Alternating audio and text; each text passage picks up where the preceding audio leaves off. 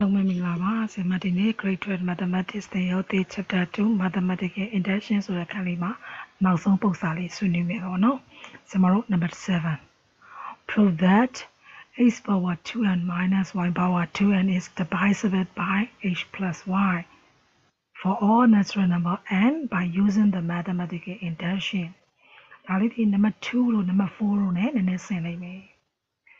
တတိပြမှာက x power 2n minus y power 2n ကြီးဒီ is divisible စားလို့ပြတ်ကြောင်း by h plus y ဆိုတဲ့ကိန်းတွဲလေးနဲ့စားလို့ပြတ်ကြောင်းတတိပြပေးရမယ်။ Okay သူ့ဘာသူဘာပဲလာလာကျွန်တော်တို့ပေးထားတဲ့ statement ကြီးကို p of n လို့စထားမယ်။ Let p of n denotes the statement h power 2n minus y power 2n is divisible by h plus y for all natural numbers n. ထုံးစံတိုင်း step 1 ကျမတို့ natural number မှာကန့်သက်ချက်မပါဘူးဒါကြောင့်မလို့သဘာဝကိန်းအားလုံးမှာမှန်ကန်ကြောင်းသက်သေပြလိုက်မယ် sorry ပါ n equal to ပေးထားသော statement ကြီးဒီ n equal to 1မှာမှန်ကန်ကြောင်းသက်သေပြမယ် for n equal to 1သက်သေပြပါလို့ပြောရင်ဘယ်သက်သက်ညာသက်သက်ပြမယ်လို့ပြောတယ်ဒါပေမဲ့ဒီပုံစံမှာညီမျှခြင်းမပါဘူးညီမျှခြင်းမပါတော့ is ကိုညီမျှခြင်းလို့ယူဆလိုက်ရင် is ရဲ့နောက်က divisible by h y ငါသက်သေပြကြမလို့ဘူး h y နဲ့စားလို့ပြတ်သည်ဆိုတဲ့အဓိပ္ပာယ်ကြီးဒါဆိုရင် is scanner ကိုမပြအောင်ဆိုဘယ်သူ့ကိုပြမလို့အရှိကိုပြမှာပေါ့ဒါဆိုရင်ကျမတို့ h power 2n minus y power 2n လေးကိုဆရာမကရှင်းတဲ့အခါမှာ n နေရာလေးမှာ1ထည့်လိုက်တော့ h power 2 into 1 minus y power 2 into 1ရှင်းလိုက်တော့ a square minus y square ကျမတို့နှစ်ထပ်ကိန်းတစ်ခုရဲ့ခြားနာခြင်းဆိုရင်အပေါင်းတစ်ခွင်းအနှုတ်တစ်ခွင်းဒါဆိုရင် h plus y နဲ့ h minus y နှစ်ကွင်းဆိုရမင်းတို့တည်းဘာနဲ့စားလို့ပြပြီးတော့ h plus y ပေါ့ကျမတို့3နဲ့စားလို့ပြလာလို့မင်း3နဲ့မြောက်ထားတဲ့မြည်သည့်ကိန်းကိုမဆို3နဲ့စားလို့ပြတယ်4နဲ့စားလို့ပြလာလို့မင်း4နဲ့မြောက်ထားတဲ့မြည်သည့်ကိန်းကိုမဆို4နဲ့စားလို့ပြတယ်ဒီမှာလဲ h plus y နဲ့စားလို့ပြလာလို့မင်းရဲ့အချိန်မှာဒီမှာ h plus y နဲ့မြောက်ထားတာလေ h plus y နဲ့မြောက်ထားတဲ့မြည်သည့်ကိန်းကိုမဆို h plus y နဲ့စားလို့ပြက်ကိုပြက်တယ်ဒါကြောင့်မလို့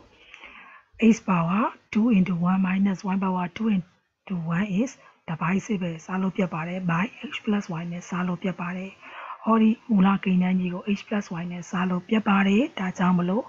the statement is true for n equal to 1 okay step 2သွားမယ်နှစ်ပိုင်းပါဝင်တဲ့ပထမတစ်ပိုင်းပေးထားသော statement ဒီ n equal to k တွင်မှန်ကန်ကြောင်းယူဆပါ I shown that the statement is true for n equal to k n equal to k ဆိုတော့ဟောဒီ n နေရာလေးမှာ k လေးထည့်လိုက်မယ် x power 2k minus y power 2k is divisible by x plus y ဒုတိယတစ်ပိုင်းပေးထားသော statement ကြီးဒီ n equal to k plus 1တွင်မှန်ကန်ကြောင်းသက်သေပြပါ we have we will have to prove that that statement is true for n equal to k plus 1 okay ဒါဆိုရင်ဆရာမတို့ ကတိပြတော့မယ်ဟောဒီ k နေရာလေးတွေမှာ k 1လေးတွေပြောင်းမယ်ဟုတ်ဒါလေးကအသုံးပြုမဲ့အကြောင်းလေးခေါ်လာတာဒီ k နေရာလေးမှာဗာလေးတွေသုံးပါတော့ k 1လေးတွေသုံးမယ်2 into k 1 2 into k 1ဝင်မြောက်လိုက်တော့ h power 2k 2 minus y power 2k 2ဒါလေးကိုမင်းတို့ပြင်ရင်းတတ်တယ်ဇင်မတို့အခြေတူတဲ့ထပ်ကိန်းတွေကိုမြောက်ရင်အခြေကိုမူလတိုင်းထားပြီးဓညွန်းတွေကိုပေါင်းပေးရတယ်ဒါကိုပြန်ခွဲထုတ်လိုက်တယ်ပေါ့ x power 2k into x square minus y power 2k into y square အဲ့ဒီနေရာမှာရပ်သွားပါပြီ။ဘာမှဆက်လုပ်လို့မရတော့ဘူးရပ်သွားပြီ။ဒါဆိုရင်မင်းတို့အမြဲတမ်းပြောခဲ့တဲ့ထုံးစံတိုင်းပဲငါတို့ရဲ့တာဝန်ကယူသုံးမယ်ဆိုတဲ့အကြောင်းကိုယူကိုယူသုံးရမှာမယူသုံးရင်မားတယ်လို့ပြောထားတယ်။ဒါကြောင့်မို့ဒါကိုယူသုံးနိုင်ဖို့ရေးစင်မတို့ကြံစီရတော့မယ်။စင်မတို့ယူသုံးပါသည် a square minus sorry x power 2k minus y power 2k x power 2k minus y power 2k ဖြစ်မှာကိုရမယ်မဖြစ်လို့မရဘူးမရတော့ဆရာမတို့အရှိမလဲသင်ငယ်ဘူးပါတယ်ဆရာမတို့တူညီသောကိန်းတစ်လုံးကိုတပြိုင်နက်တည်းပေါင်းလဲပေါင်းမယ်နှုတ်လဲနှုတ်မယ်ဆိုရင်မူလတန်ဖိုးမပြောင်းလဲဘူးဟုတ်တယ်မလားကိန်းတစ်ခုကိုတစ်ကိုပေါင်းလဲပေါင်းနှုတ်လဲနှုတ်မယ်ဆိုရင်မူလတန်ဖိုးမပြောင်းလဲဘူးအဲ့ဒီကမှဆရာမလောက်တော့မယ်အရင်ရေးပြလိုက်မယ်နော် ဆီယမဒါလေးထည့်လိုက်တယ် a square minus a square into y power 2ကိုနှုတ်လဲနှုတ်တယ်ပေါင်းလဲပေါင်းတယ်တပြိုင်နက်တည်းပေါင်းလဲပေါင်းနှုတ်လဲနှုတ်တော့မူလတန်ဖိုးပြောင်းလဲခြင်းမရှိဘူး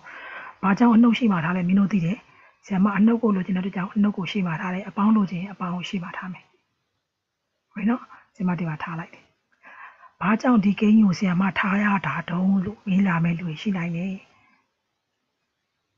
ဘာကြောင့်မလဲဆိုဆရာမခုနပြောတယ်ဆရာမတကယ်လို့ချင်တာ x power 2k minus y power 2k ဆိုတဲ့လက်သေးခွင်းလိုချင်တာ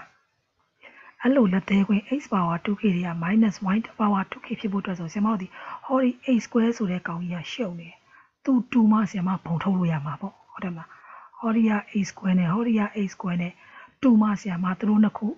h power 2k minus y power 2k ဆိုပြီးရမှာပေါ့ဒါကြောင့်မလို့ဆရာမထည့်လိုက်တဲ့ကိန်းကြီးဒီ a square dot y power 2k ဖြစ်ပါတယ် တော့ကြနေအဲ့ကိန်းကြီးကဗလားရအောင်ဆရာမအလွတ်ချက်ကလာလို့လာမင်းနေပါဆိုလို့အလွတ်ချက်ကလာမဟုတ်ပါဘူးကိုလိုချင်တဲ့ကိန်းပေါ်မူတည်ပြီးသွားတာအနှုတ်လိုချင်တော့အနှုတ်ထည့်တယ်ပြီးရင်ငါလိုချင်တာဒီ h power 2k minus y power 2k